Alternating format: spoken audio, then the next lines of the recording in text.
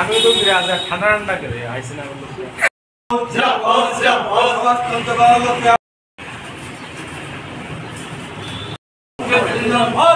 Socialism down down অমর রহে অমর রহে অমর রহে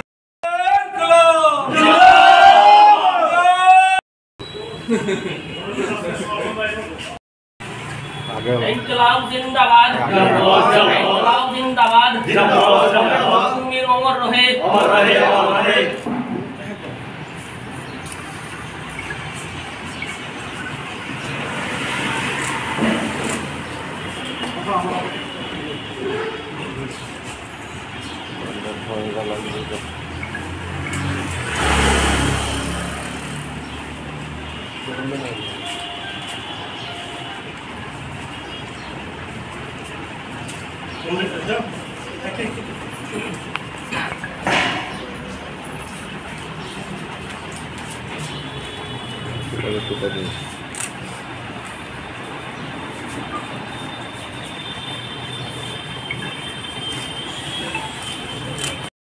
ভারতের কমিউনিস্ট পার্টি মার্ক্সবাদী কমরেড পশ্চিমিনের একশো চৌত্রিশতম জন্মদিবস অনুষ্ঠানে আমরা মিলিত হয়েছি।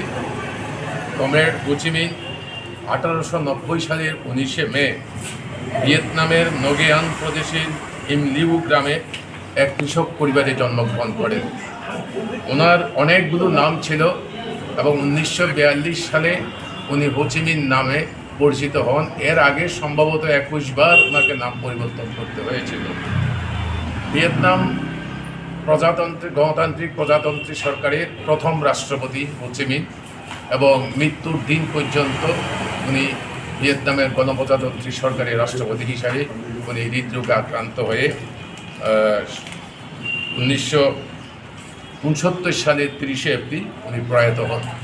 কমরেড হোচিমিন ছিলেন বিশ্বের উপনিবেশিক শাসনের বিরুদ্ধে মুক্তি আন্দোলনের অন্যতম প্রতিকৃত। এবং এই ভিয়েতনামের মধ্যে তিনটি সাম্রাজ্যবাদী শক্তি, জাপান সাম্রাজ্যবাদী শক্তি আমেরিকান সাম্রাজ্যবাদী শক্তি এই শক্তিগুলোর বিরুদ্ধে লড়াই করে মুক্তিযুদ্ধে ভিয়েতনামকে স্বাধীন সার্বভৌম দেশে পরিণত করেছেন।